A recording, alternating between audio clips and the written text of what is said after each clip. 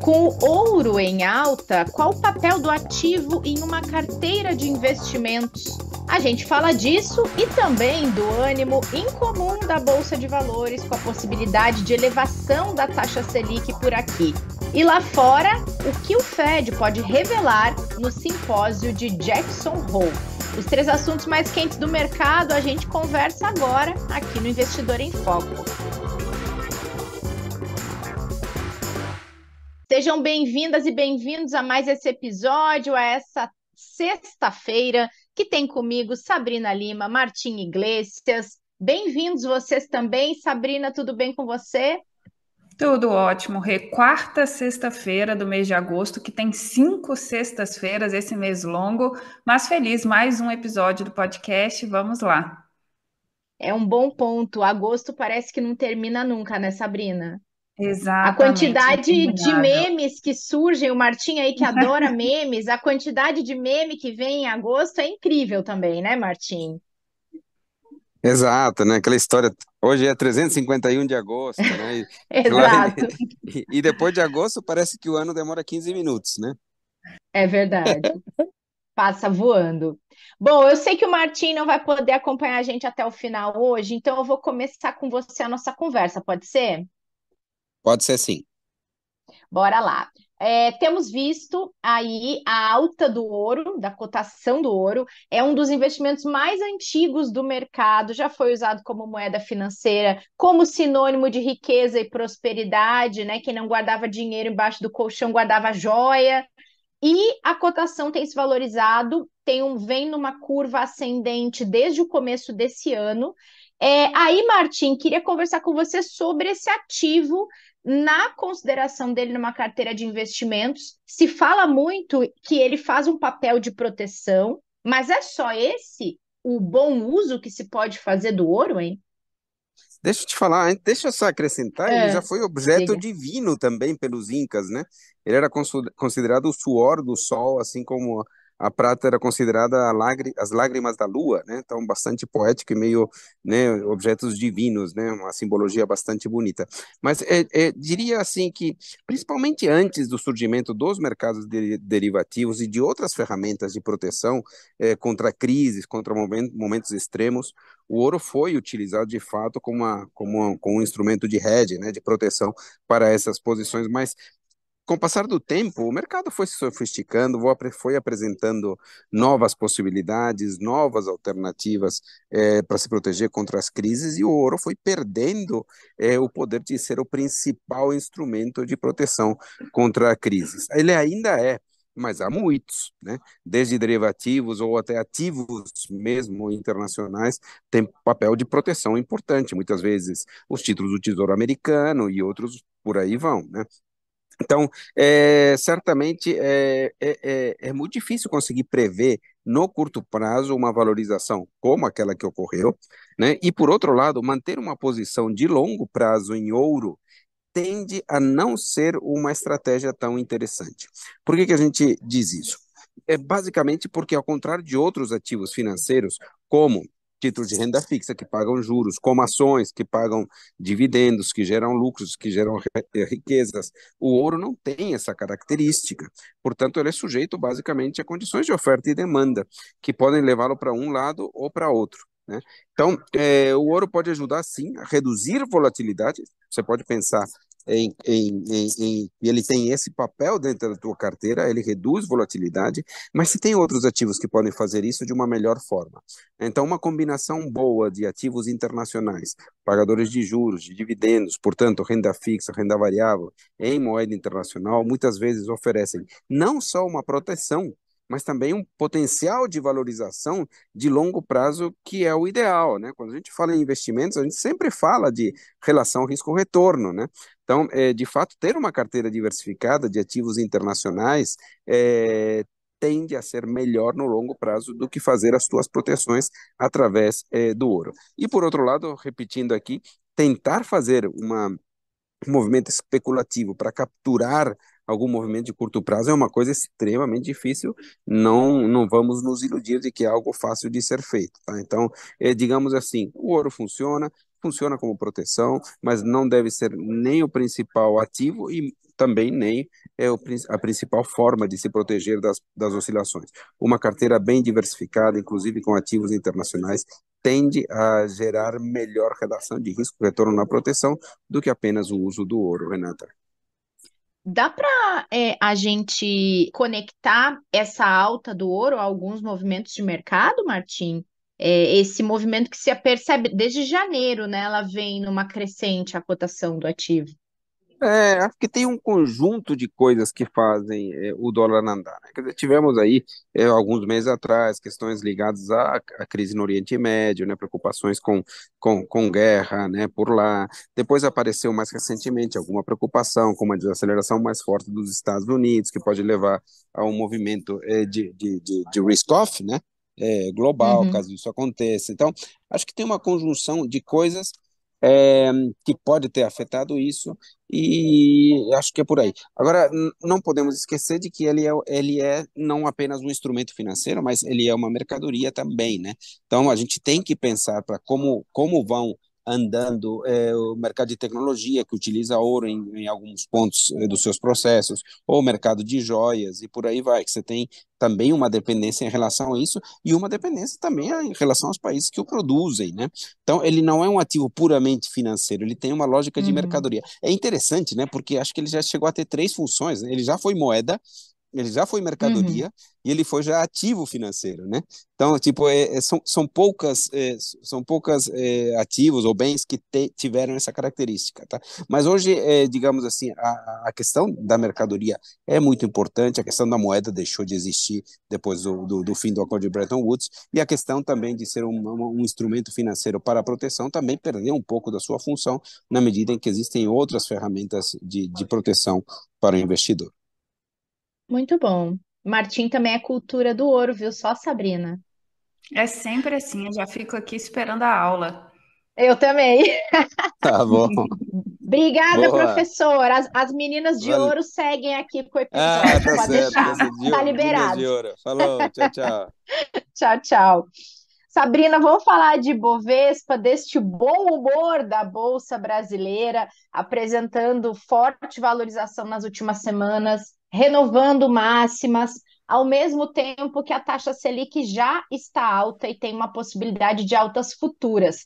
Isso não é tão comum de acontecer. A gente discutia antes aqui se é uma descorrelação, mas não é assim que a gente pode explicar para o nosso ouvinte, para a nossa ouvinte, né? Não é exatamente um indicador completamente descorrelacionado do outro, mas o que a gente costuma enquanto o mercado esperar é que a bolsa não acompanha a alta quando a taxa Selic se projeta em alta, né? Exatamente, isso mesmo. É o que você trouxe, assim, via de regra, quando os juros estão elevados ou sobem, os investidores, né, é, eles ficam mais tendenciosos à renda fixa, a pegar ali um título público, um CDB, os ativos mais conservadores, porque neles eles já conseguem um retorno interessante. E isso faz, então, com que o capital, que teoricamente é único, ele saia da bolsa e vá, então, para a renda fixa. Mas aí o que a gente vê nesse momento é que isso não tem acontecido, tem essa possibilidade de aumento de juros e ainda assim a gente está tendo um mês de agosto bastante positivo para a nossa bolsa de valores. Então a gente precisa pensar quais são os movimentos né, que acarretam esse o que está acontecendo agora de forma mais atípica. Eu vou trazer aqui alguns pontos que a gente tem para explicar. Eu acho que um deles que é bastante importante é a entrada de investimento estrangeiro aqui no Brasil. Em um cenário em geral de juros mais alto, o país acaba atraindo esses investidores estrangeiros em busca de retornos maiores nos investimentos em renda fixa. Isso é verdade. Mas isso também acaba resvalando também na bolsa de valores. E a nossa bolsa ainda está sendo considerada barata ou seja, negociando abaixo do seu valor patrimonial. Então, a gente tem visto, num comparativo das bolsas de mercados emergentes, a nossa bolsa ainda atrativa e a entrada de investidores estrangeiros tem feito né, esse movimento que a gente está vendo agora no mês de agosto.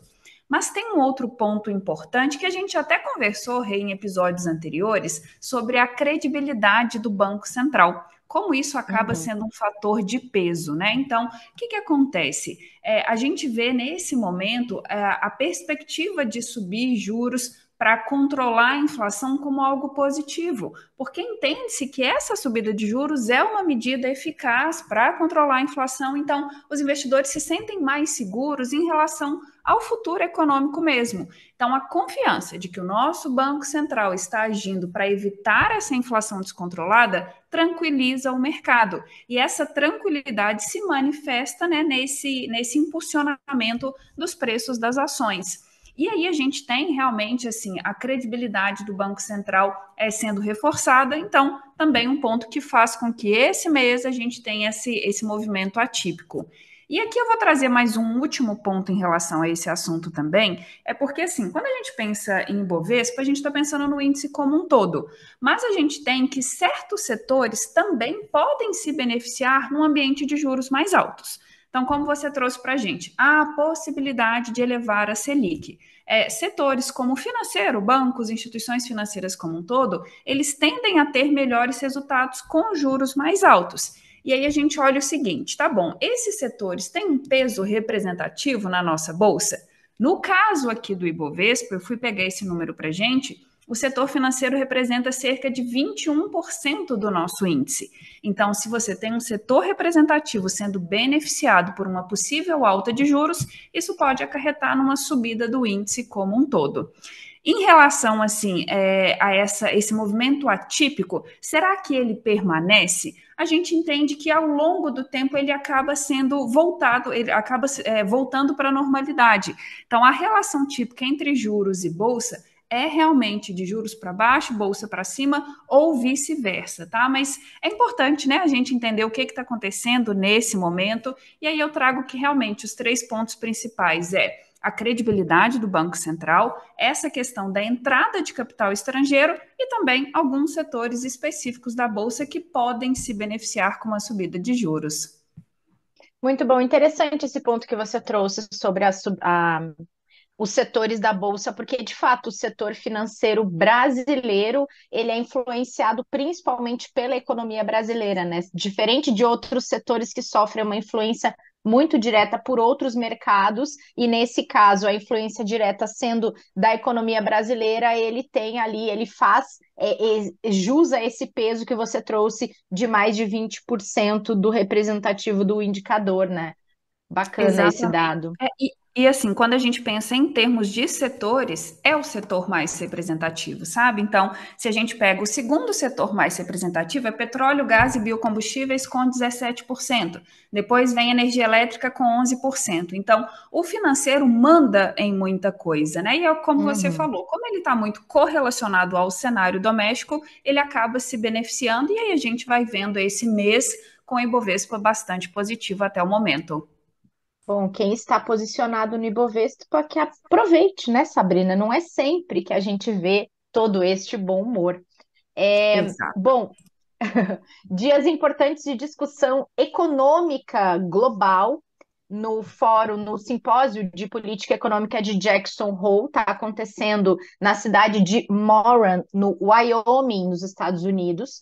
É um evento mundial, ele termina neste sábado, mas o discurso mais esperado entre as pessoas que vão participar, entre nomes ilustres da economia, dirigentes de instituições representativas, é o presidente do Federal Reserve, o Jerome Powell, Federal Reserve, que é o Banco Central norte-americano, que nesse ano é, tem ainda o desafio de falar em Jackson Hole, mais ou menos um mês antes da próxima reunião de decisão de juros por lá, né? E o mercado global todo especulando, é, traçando projeções, expectativas em relação ao que vai acontecer com o juro. Além de tudo, tem um outro complicador que estamos em período pré-eleitoral por lá, né, Sabrina? Então, todo mundo quer ouvir pessoas como Jerome Powell e entender o que está sendo discutido num, num fórum como esse é um bom, uma boa oportunidade, né? Com certeza. Imagina, Rê, você ser importante ao ponto de que cada palavra sua é medida pelo mercado, oh. faz preço nos mercados globais. Quero não. Pois é, exatamente. Eu já ia falar, tem um lado bastante negativo disso. É, mas é o que você trouxe, assim. é, esse ano, né, o tema central do simpósio é mudanças estruturais na economia global e o efeito da transmissão da política monetária.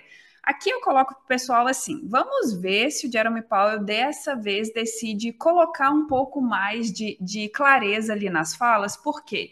Para ilustrar a gente olhando um pouquinho para trás, desde que ele está à frente né, do Fed, ele tem evitado usar esse simpósio ou outros simpósios mesmos para telegrafar suas decisões futuras. Em 2022, por exemplo, ele discursou por menos de 10 minutos e um dos pronunciamentos que foram dos considerados mais enxutos da história do evento, e ele não sinalizou que o Fed promoveria, né, depois um dos mais rápidos e agressivos ciclos de aperto monetário nos Estados Unidos. Talvez ele não tivesse muita clareza disso ainda, mas assim, 2022 ele não entregou muita coisa. Para 2023, ano passado, ele já falou um pouco mais, mas no fim das contas, tanto o discurso dele como da Christine Lagarde, que é a presidente do Banco Central Europeu, foram considerados bastante a menos. Mas para esse ano, como você trouxe, temos fatores adicionais que fazem com que a gente fique mais atento, tá? É, então, assim, seja como for, vale lembrar da importância em si do simpósio. A primeira edição é lá de 1978, e aí, para ilustrar um pouco do quanto esse momento é importante, se a gente olha em 2007, o evento, né, o Jackson Hole, naquele momento, ele alertou para problemas no setor imobiliário dos Estados Unidos, e como a gente sabe, né, em 2000 2008, no ano seguinte, a gente teve a crise do subprime.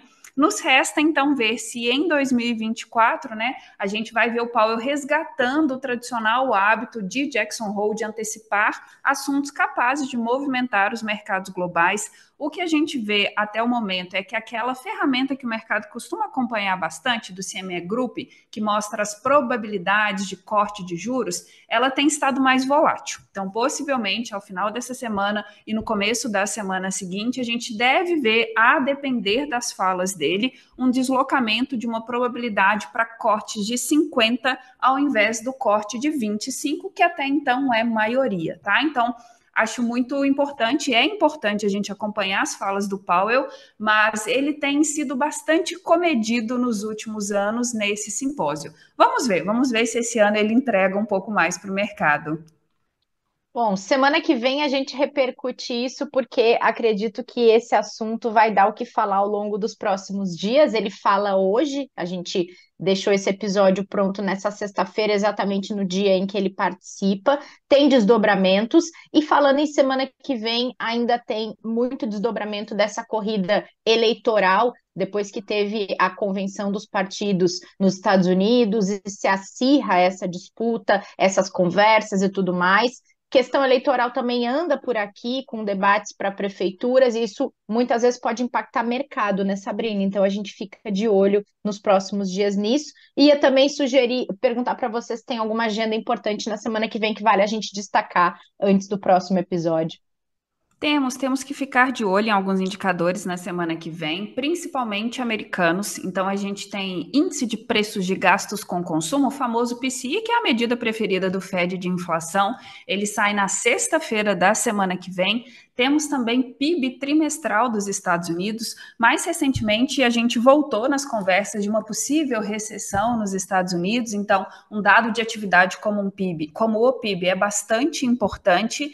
E por aqui temos IPCA 15, né, que é a prévia da inflação, sai na terça-feira, então também vamos acompanhar para a gente ver, né, justamente essa questão do possível aumento da Selic. Então, IPCA 15 saindo vai ser importante. acho que semana que vem temos muitos assuntos para tratar. Coisa boa. Oh.